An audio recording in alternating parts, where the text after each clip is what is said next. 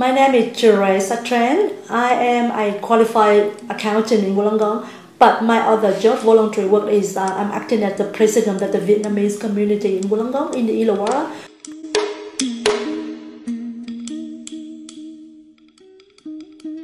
In Vietnam, there's not such a retirement village or a retirement apartment in Vietnam. But I guess our culture is always look after our elders because we believe that they raised you, they brought you up to life, and it's it's important, it's your duty to look after your parents or your elders or grandparents when they get old.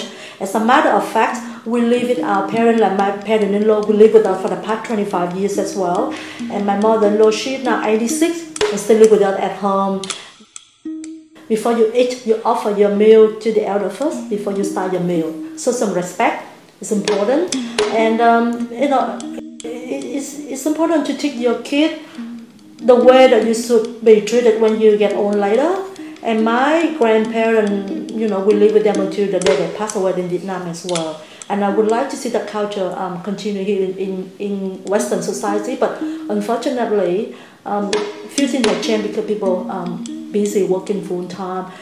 But you find that in every Vietnamese family in the Illawarra or Sydney, as much as they can, they try to keep their parents at home.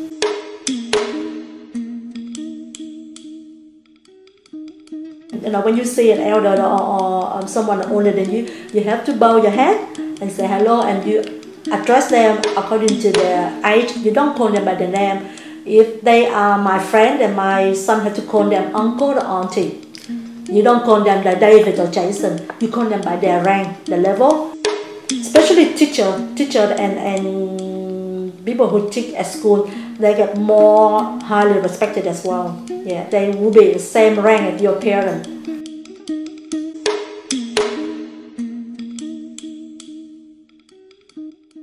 Well, the greatest lesson I learned is um, respect. Respect.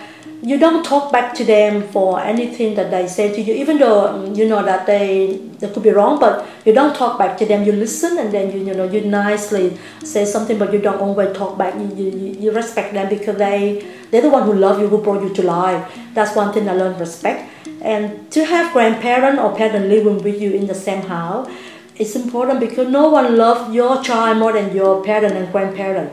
So you have that kind of support as well, pass it on, the culture and, and how you do with each other, so the child can learn from that as well. I know that my son, he loves his grandparent a lot because the way that we teach him and we tell him how it's important to respect your grandparent and parent. If you find a family who have grandparent and parent living like three generations in the same house, the kids tend to be more uh, compassionate, more tolerant, and more respectful than some children who only live with a parent but not without a grandparent. Yeah, because they learn more.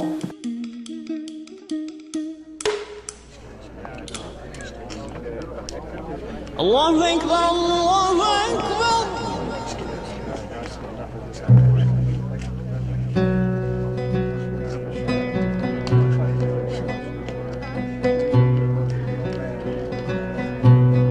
My full name is Fatih Jihan Jingaz.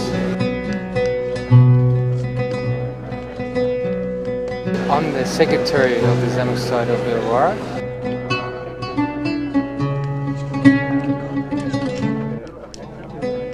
So there are nursing homes in Turkey as as well, um, but not like how it is here. You know, like there's a lot more nursing facilities here, uh, aged care facilities. My mum actually works at an aged care facility here, so uh, I've heard a few stories from her about like you know, what happens and families coming and going. But yeah, in Turkey mainly when they get older, you know, they mainly stay at home, but it might get to a stage where they can't sort of look after themselves and you know, if the if their kids are working, then it's really hard, you know, because they can't be there all the time.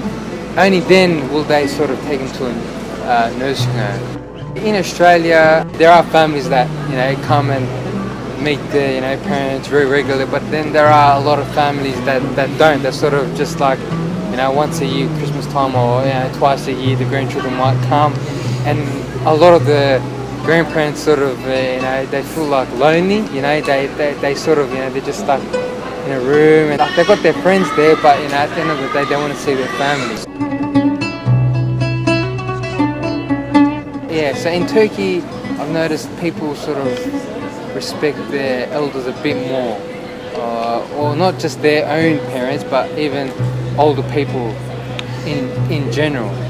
And I, I, I don't know why it is like in Australia where there's like extra burdens on us. Whereas like, for example, here, right, when you get a job, right, you need to go in mortgage. That's stress from day one. So whether that contributes to not having enough time to spend for, for elders or not. Also in, in the Quran it says, uh, well God says, we will reverse, for those who we give a long life, we will reverse their life. Which means when you're a baby, you're totally dependent on other people. Then as you get, you know, you get older, you're, you know, you're strong, you're, you're independent, you can do what you want. And then as you get older and older, it goes back to the beginning. Then you start being dependent on, on, on your kids. You can't do certain things, and you even act like a child at a certain stage. But we were like that once when we were kids, you know, we were stubborn, we were childish, so we just have to remember that and just return the favour and just be patient.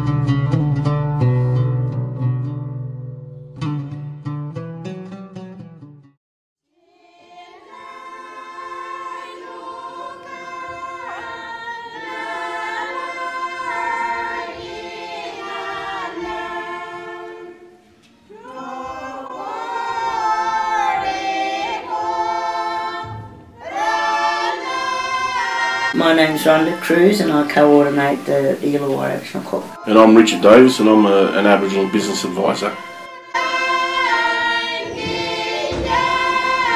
Because Aboriginal, um, they don't live to very old. I mean, old is a bit 70, 76, and then that, you know that's their lifespan. They have shorter lifespan, and they're not Aboriginal people. So yeah, we keep them home. So if you don't respect, Don't respect your elders. elders and the knowledge that they have, then you're losing who you are as a person because they're the ones that tell you who, where you've come from, who your family is, Mm. you know, the knowledge about traditional stuff, the knowledge about when you were growing up or learning your, you know, the, the ways and lives of Aboriginal people in the in the past. So, and, and and it's a big family connection. If you don't have that family connection, then as you can see, we keep talking about it all the time. People lose their identity and they don't know who they are. So it's about having a family in there and having your elders and respecting, you know, what they've got to say. Because they're the ones that are, you know, showing you you are, where you come from and, you know, the knowledge of growing up. But yeah, we do respect our elders and, you know, from who they are. Because a lot of our elders have had a lot of harder than what I've had.